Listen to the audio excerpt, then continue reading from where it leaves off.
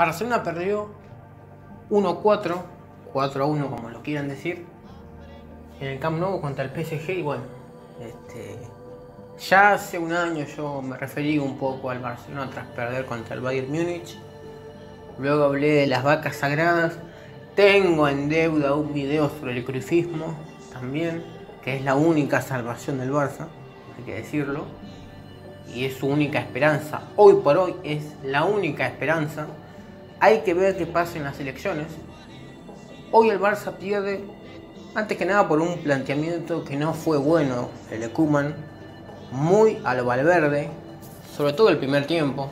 El primer tiempo es un primer tiempo de especular, tranquilos, esperemos en el fondo, veamos si podemos tener una contra en velocidad, veamos si Messi junto con De Jong, junto con Pedri, junto con Busquets pueden meter un pase bueno, pueden asociarse entre ellos, el resto quédese atrás.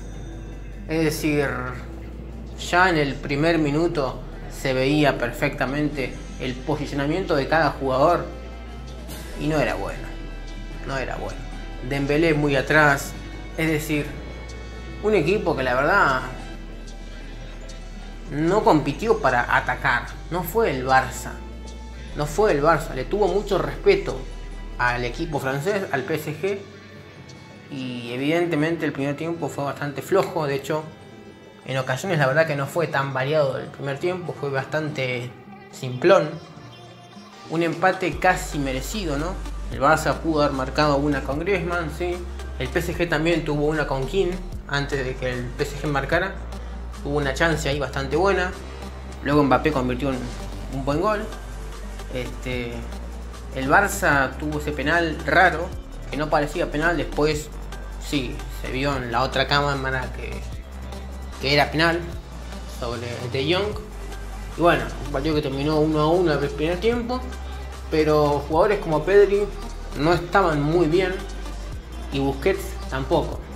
Kuman no hizo los cambios adecuados, dejó que todo siguiera igual, jugó Piqué, que venía de una lesión. Su primer partido después de la lesión es el partido contra el PSG y se había recuperado hace apenas dos días, casi. Entonces ya de entrada te muestra que la alineación no fue la debida, el planteamiento no fue el correcto o no fue el mejor que se pudo haber hecho, el posicionamiento de los jugadores no era el que se tenía que hacer, no fue el indicado y aún encima muchos jugadores con una actitud bastante de mierda, realmente. Y bueno, por supuesto que le caemos a los más débiles, ¿no? Hoy, este lateral derecho Serginho Dest, que es estadounidense, aunque tiene un apellido portugués, brasileño más o menos, pero es estadounidense, ha quedado marcado como el gran culpable. La verdad que no, no es el gran culpable. Caerle a un jugador no tiene sentido, porque hay muchas otras cosas. El mediocampo fue pasado como agua. Busquets no la olió, no la olió porque sencillamente no hay fútbol, porque el funcionamiento del equipo no es el adecuado. Acá tiene mucha responsabilidad el técnico y aún encima, si los jugadores están paseando, bueno, no hay nada que hacer. Ni Messi, ni Pedri, ni Dembélé, ni Trincao, ni De Jong, ni Ricky Puch, ni Busquets, ni Pjanic, nadie te puede salvar en el campo si el posicionamiento y el funcionamiento no es el adecuado. Y bueno, si el técnico tampoco tiene el apoyo total de los jugadores, tampoco puedes hacer mucho. Y el Barça no tiene nada. No tiene ni fútbol, ni compromiso, ni actitud, ni táctica. Está por los suelos. En un subsuelo está. Tres metros bajo tierra, sepultado. Y sigue ahí todavía. Ya en el clásico que perdieron hace poco 3 a 1, en el Camp Nou, ya demostraron no tener nada. Hoy, otra vez, nuevamente dando pena. Aún encima en la liga, bueno, según su técnico no están para ganar títulos y creo que se refleja hoy en su planteamiento, ¿no? Es decir, no podés decir eso. Si mi técnico me llega a decir a mí que no estamos para ganar títulos, si Russo dice eso, yo lo cago a patadas. Y creo que en el caso de Kuman tendrían que hacerle eso. La verdad que el Barça está bastante mal por donde se mire. No hay presidente. Hay un señor ahí, Tusquets, que está sentado ahí como interino, que está afanándose todo en el Barça. Es decir, un desastre.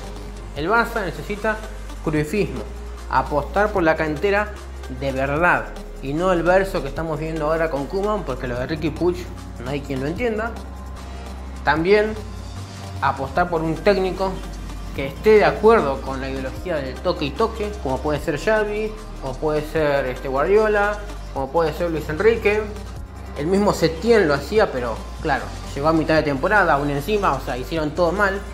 En vez de sacar a Valverde antes de que arranque la temporada, lo sacaron a mitad de temporada. Unos genios, la verdad, unos genios. El planteamiento de temporada es espectacular. Esta gente, esta gente está tan, es tan inútil, en realidad, que fueron capaces de hundir al mejor equipo del mundo y convertirlo en esto que vimos hoy. Una mierda. Hace falta que venga gente de verdad. Hace falta un presidente que apueste por la ideología que hizo grande al Barça, que son o John Laporta o Víctor Font. Y hace falta un técnico, que para mí tiene que ser Xavi, que pueda apostar por los jugadores. Hay que hacer un recambio serio de muchos jugadores. Para mí Piqué no puede seguir más, Busquets tampoco y Messi se quiere ir. Se quiere ir y para mí deberían dejar que se vaya. Después hay mucho material para poder apostar. Dembélé, Trincao, Pedri, De Jong, a ver, Ricky Puch, no son malos jugadores la Masía puede cumplir y podés hacer algunos fichajes para poder este, llenar los huecos que no podés cumplir con la cantera. Es muy simple lo, lo, que hay que hacer. Pero a esta gente le gusta complicarse. Entonces el Barça, hasta que no resuelva el problemita que tiene en su cabeza de que es darse cuenta lo que hay que hacer, va a seguir como viene hasta ahora, por los suelos. El 7 de marzo creo, o el 6, va a haber elecciones en el Barça. Muy posiblemente la Porta sea el presidente, el que gane. Veremos si con esto el Barça puede volver a lo que fue una vez, el mejor equipo del mundo.